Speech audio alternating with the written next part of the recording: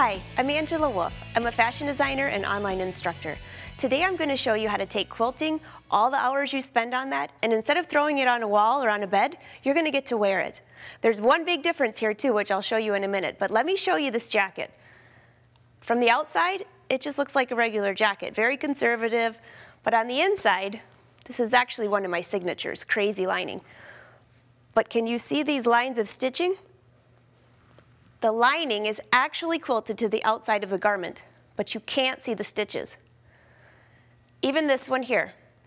This is a tweed fabric, and on the inside, another crazy lining, and again, rows of stitching. It might be a little hard for you to see on these because the thread matches, but those are a lot of rows all the way around the jacket. This really is easier than you think.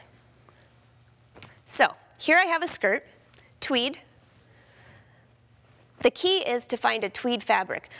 What I mean by tweed is see all of these rows, you can see the, the weave of the fabric really well. This one you really can because it's different colors.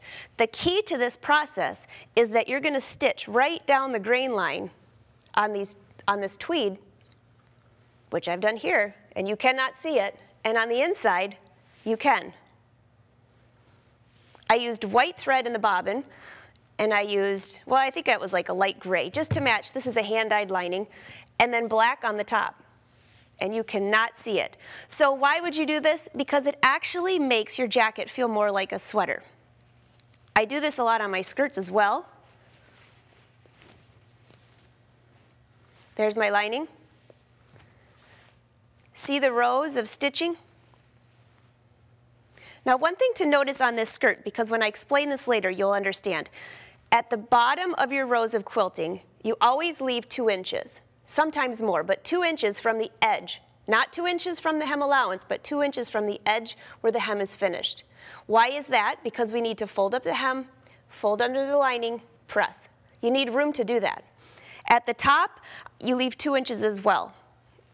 Again, you can, this one has a fold-in waistband a facing. So I had room to put the facing, and then all of this lining is hand stitched.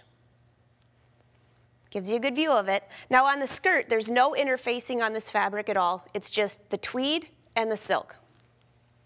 Let's take a closer look at this jacket. Again, this is a tweed. I did not use any interfacing or padding inside of this jacket. Now, when you're quilting, usually you'll have a padding or a fleece or something. There's nothing. All there is is lining, and the jacket. And before I show you the process, take a good look at this. You can see the rows of stitching. This jacket I've worn quite a few times, so it's a little wrinkled. And look at this line here. You know what that is? That's your seam line, because you actually quilt every single pattern piece first, then stitch your jacket together, then you have to hand stitch your lining closed. So it's a very couture process. It takes a long time, but you'll get to wear it, and it's really comfortable. So let's take a closer look at this fabric. Here I have, this is one jacket I've cut out. By the way, I'm just going to warn you, once you do this to your jacket once, you will be so addicted to the feel of it that you'll have to, you'll have to quilt every jacket you have. So this is a tweed, kind of a loose, I believe this is an acetate blend. And you can see the hand of it, just kind of, it's very nice. You could interface this, but you can't see through it, so you don't have to. If you have a really, really loose fabric where you can see through, you definitely want to use a fusible interfacing. Just a lightweight, it helps to stabilize your fabric. So this is my entire jacket pattern cut out. My red dots, the reason for that is because the front and the back look very similar there is a difference, but if you're working and you're tired and you're not paying attention, all of a sudden you're gonna sew two right sides accidentally. So this is what your fabric looks like. Notice how much it frays. You'll be coated by the time you finish this. So here is the next step. This is my front, side front, and I've already attached the interfacing. This is just a lightweight fusible interfacing. I left a little bit free so you could kind of see what that is. And what I do is I take each piece to the iron and attach it. No steam with your iron, just press and hold. Make sure you don't take the iron and do this because you can end up with little puckers in your interfacing. That's the next step. And then, lastly, I run everything through the serger. All the pieces. That helps get all the fraying finished. So this is another jacket I'm working on. And I just want to get to the bottom here of these last two pieces. Okay, even the sleeves, you do the same thing. Everything's coated with interfacing and serged. You're ready to go. Unless you're not using interfacing, then I would just serge the edges.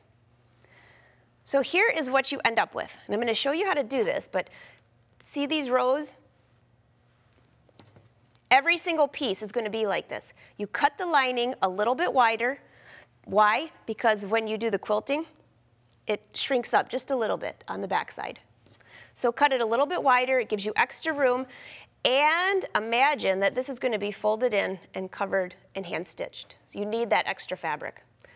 Now this is a silk lining and it's fraying really bad, but you could serge it like I did on this one, or just leave it. This is the sleeve. And I have one more here of the whole entire piece. This is what you end up with. I sew the entire body together, every pattern piece, and then I hand stitch the linings in place.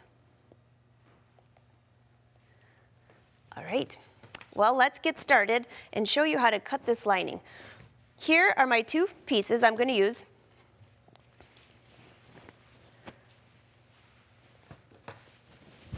This is a silk lining. If you have a rotary mat and cutter, this is the best way to do this.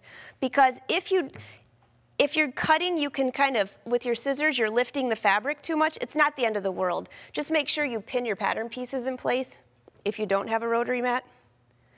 Just making sure this covers all the way. Actually, I think I'll go. Let's go this way. Again, this is a silk charmeuse lining, hand-dyed. Silk charmeuse, China silk, um, even suede silk, those are great linings to use for this.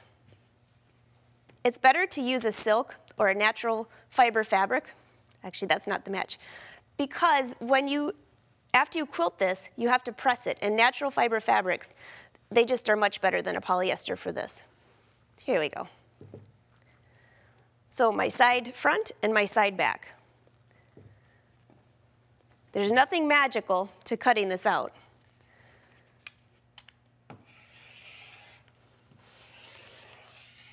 just a square. And I'm going to take this piece here, and I have a hand needle, and I'm just going to hand baste this piece to the lining. Very loose. I'm using a purple thread just so you can see it. Obviously, you'd want to pick something to match.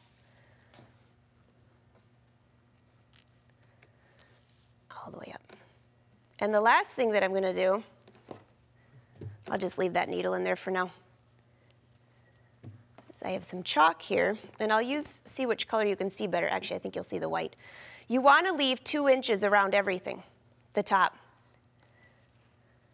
And I'm just going to eyeball this, but I'm going to mark it in chalk because if you go inside those lines, you have no place to fold back your seam allowance and press that lining. Now this is a, a small jacket. If you're a larger jacket, if you're a larger size, you'll have more rows of quilting than I will. So I'm gonna take this to the sewing machine and show you how to do this. Take another look at this hand basting stitch here. Now you'll probably wanna do a few more rows the first time you do this to keep this stable. You can see it from the back side. The purpose of doing that is to keep your lining and this fabric both on grain. Again, keeping two inches from all the edges. I'm just gonna put a pin here just to mark it for myself. Two inches from this edge and two inches from this edge. This really only allows for a few rows of quilting. And your quilting lines can be one inch, one and a half, whatever you want them to be. I'm gonna just do one row here just to show you how this works. Again, I'm gonna take that pin out. I'm lining my needle right in that grain line and I'm going to stitch all the way down right in this grain line here. I'm using, on, for, so you can see this, I'm actually using a 3.0 stitch length, but you would want to use a 2.0, 2.5 at the most, because you don't want to be able to see it from the right side of the fabric. And you're going to stitch all the way down. Again, following, and my hem plus two inches. I'm just about there. So I have a one inch hem and two inches. So that's three inches left at the bottom. There we go. I use purple thread again just so you can see. Looks like I got a little curvy there, but it's pretty close to being on the grain line. And on the back side, you can see what you end up with. If you have a walking foot, that is a great foot to use with this. Again, you're gonna trim off the edges all the way around your fabric piece, leaving about that much room. I already have a piece. I'm gonna show you how to press this. This is a sleeve. You can see both pieces are quilted. I've already pressed the seam open. And how you're going to prepare the lining is you press one lining piece closed, just like this, and take the other one over. You're wrapping that seam. And now fold it so this fold lines up right with the center of that seam. I can feel it with my finger. You can't see it, but you just have to trust me on that. You'll feel it. Pressing. Using your clapper to make sure it stays there. And I would do this all the way down the seam, but I'm just gonna do a little piece here for you. You're gonna do that all the way down. You'll do that for all of your seams. Now let me, next thing you have to do is hand stitch. Again, you would have sewn together all, you would have quilted all of your pieces, then sew them together, and then press your lining. I'm just giving you a little excerpt of how this works. So this lining would have been pressed all the way down, and then you hand stitch. I'm starting in the middle because this is the only area we pressed, but you really start at one end and go all the way up. And all I'm gonna do is a very small slip stitch. Attaching, I'm grabbing just a little bit of the seam allowance and both pieces of lining. The idea is to not see this stitch. Very small. See how that looks nicely? Make sure you don't pull too tight where you end up with wrinkles, and then you'll press that out. Again, look at this here. This has been hand stitched all the way down. Now this is my sleeve, and I actually do the whole sleeve before I insert it into the jacket. This was folded under. Here I have a sleeve vent. So you can see where I actually, before I closed this layer, I stitched that whole underside of the sleeve, leaving the hem open. And then I went back, leaving the hem open again, stitched all the way up. All of this is hand stitched. This is all the machine stitching and this is all hand stitched. The other thing, after you do this, make sure you give it a good pressing. Make sure that you don't have any puckers through your lining. And the other thing right here, see these threads? You need to pull these to the inside of the fabric here. So it's a lot of hand stitching. Let me just show you the vent one more time from the right side because you can't tell this at all. All of this is hand stitched. All of this is hand stitched. So you can see this jacket will take quite a few hours. In fact, 40 plus hours, depending on what you're doing with the trim and everything. But you get to wear it. It feels like a sweater after you make one of these, you're gonna wanna have one of all of your jackets. With every fabric you buy, you're gonna think, how could I quilt that lining?